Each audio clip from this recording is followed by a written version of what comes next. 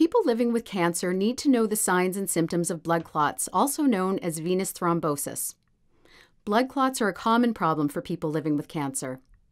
About 1 in 200 cancer patients develop a blood clot, though the risk of getting a blood clot is not the same in all people with cancer.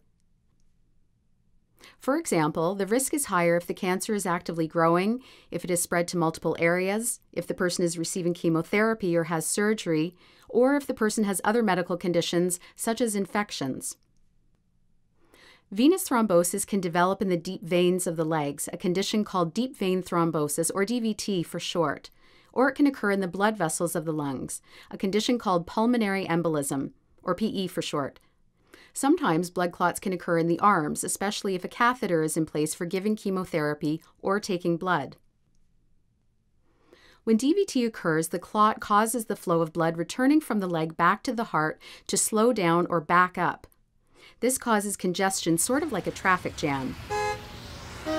As it gets pulled down by gravity, fluid collects in the ankle or calf. This can cause swelling of the leg. You might also get cramping in the calf, redness or discoloration of the leg, or a sense of heaviness in the leg. If the DVT is in the arm, similar symptoms occur. People may complain of aching in the shoulder or neck and might notice that the veins on the back of their hands pop out.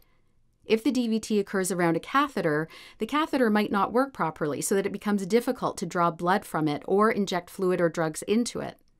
If you have any of these symptoms, you should tell your doctor. When PE occurs, the clot blocks blood flow in the lungs.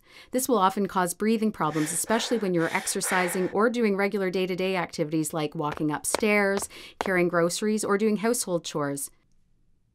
Some patients may get chest pain. The chest pain can have a sharp, stabbing quality that is worse with deep breaths, or it can feel like a pressure on your chest. When a clot is in a larger vessel in the lungs, or there are multiple clots in the lungs, you can feel lightheaded or dizzy, some people also report feeling anxious. If you get any of these symptoms, it is important to have someone take you to the emergency department or call 911 if you are by yourself. PE is a medical emergency because it can be life threatening. You must not ignore these symptoms because even if they are not from PE, they can be signs of other serious conditions, like a heart attack. So it is important to get medical help right away. Treatment is usually very effective and can save lives. The symptoms of blood clots can sometimes be subtle and can be confused with other conditions that cause similar symptoms. So, if you have these symptoms, it is important to see your doctor quickly to have special tests done to check if you have developed a blood clot. What are the treatments for thrombosis? For people living with cancer, the recommended treatment for venous thrombosis is an injectable blood thinner called low molecular weight heparin. This is a drug that is given by a small needle that is inserted under the skin, very much like the way insulin is given in people with diabetes. The injection is usually given once a day.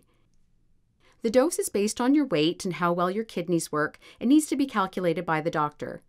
The drug works by stopping blood from clotting quickly. Once you start the treatment, the DVT or PE stops growing and the body can slowly start breaking the clot down. Because this drug slows down blood clotting, one of the risks is that if you have a severe bleed, for example, if you seriously injure yourself, that bleed can be harder to stop. In most people with cancer and thrombosis, the benefit of treatment with blood thinners far outweighs the risk of bleeding. Once you start treatment for a blood clot, you need to continue taking the medication for at least three to six months. A shorter period of treatment can put you at risk of getting more blood clots. Your doctor will see you a few months after starting this medication to help you make a decision on whether you can stop treatment or whether you need to continue. That decision depends on what's happening with your cancer, if you're still receiving cancer therapy, and how well you've tolerated the injection therapy.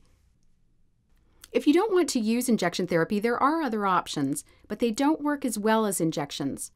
Warfarin is a pill that has been used as a blood thinner for over 70 years. It is still sometimes used for treating thrombosis in patients with cancer.